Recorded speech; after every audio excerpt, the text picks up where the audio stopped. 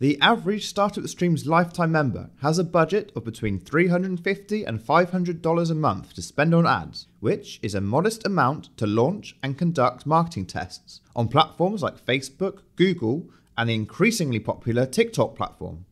But what if you don't have any marketing budget and want to send targeted traffic to your business?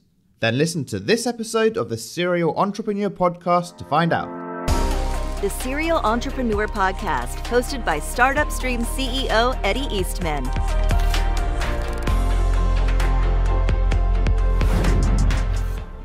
So let's jump straight in.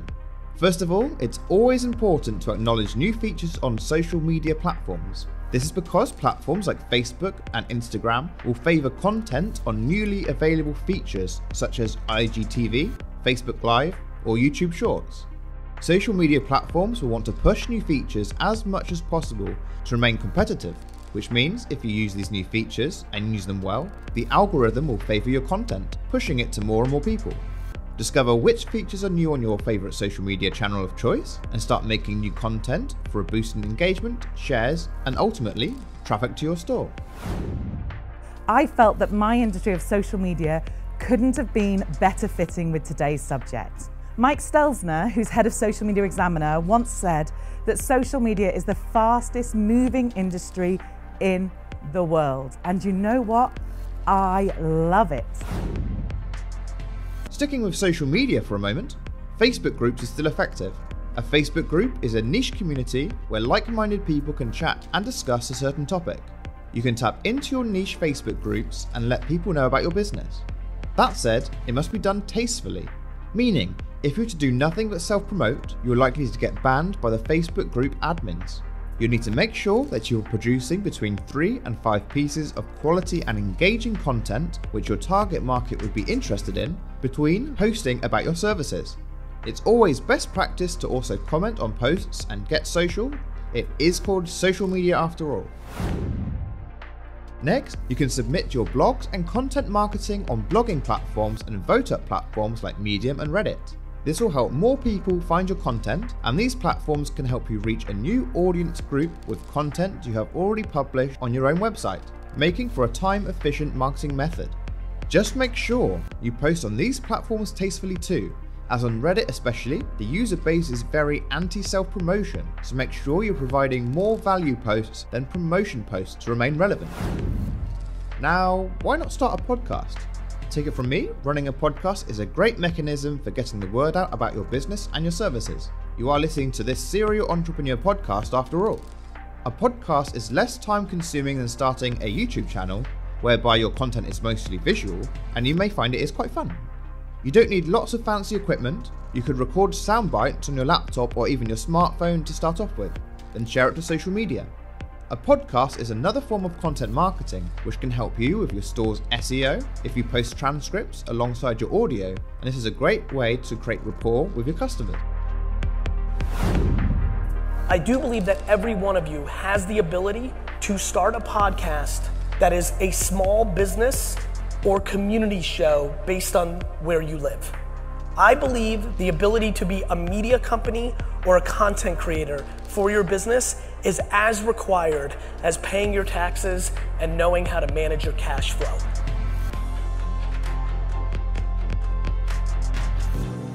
You are listening to the Startup Stream Serial Entrepreneur Podcast with Startup Stream CEO Eddie Eastman. Interview time. Why not interview someone of interest in your space or request to be interviewed? You may find dozens of content creators in your niche who are looking for interesting people to interview. You can capitalize on this by requesting to be interviewed. This can equal some great exposure, allowing you to tap into an existing group of avid followers. Just make sure you have a strong call to action at the end of your interview, either requesting a follow up on social media or to buy from your website. If you interview someone of interest, their target audience could resonate with you. You can post the interview alongside the audio file or video file on your blog. Remember, all Shopify stores include a built in blog engine, so it is best to utilize this as much as possible. One of the best ways I have used to market my businesses in the past for free is to contact and collaborate with other startups in my niche. I have done this with a number of startups I have been involved with, and it can work wonders as you can tap into one or multiple pre existing audiences as you and the business you collaborate with benefit mutually by recommending each other. I did this successfully with the clothing brand and managed to collect 1,000 emails before the company's launch by hosting a social media share competition. The great thing is that once the competition gained traction, I outreached to more and more businesses to take part in the competition. This added more prizes to it, creating more buzz, and as a result, gained an upward spiral in shares, engagement, and new companies wanting to get involved. You can do the exact same thing for your business. Next, you may know that content is king, but what if you don't have any content to share yet? Well, have you heard of a roundup post? You can create a quick links blog post with tons of useful links to other third party content, which your target audience could find very useful.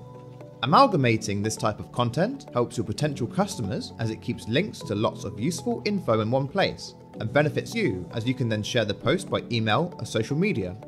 Bonus points if you even tag in the original content's authors to social media posts to garner engagement. Make sure you organise the links well with headings and subheadings to allow for easy navigation. Before we get to my last free marketing idea for today, here are another four honourable mentions which you may wish to consider. 1. You could promote a limited time offer. 2. You could answer questions on Quora or Yahoo Answers. 3. You could create a lead magnet and give it away for free in exchange for an email. 4. You could guest post on other blogs on blogging platforms and vote up platforms like Medium and Reddit. Last but certainly not least is our final recommendation today to market your business for free and that is to ask your friends and family for referrals. It is free to message everyone you know. So why not ask your network who they know who may be interested in the product you have to sell? You don't have a business to promote right now? Head straight over to startupstreams.com to discover the dozens of new businesses for sale right now. Thanks for listening. Listen to more episodes on Spotify, Apple Podcasts, Amazon Music, Google Podcasts, YouTube, and at startupstreams.com right now.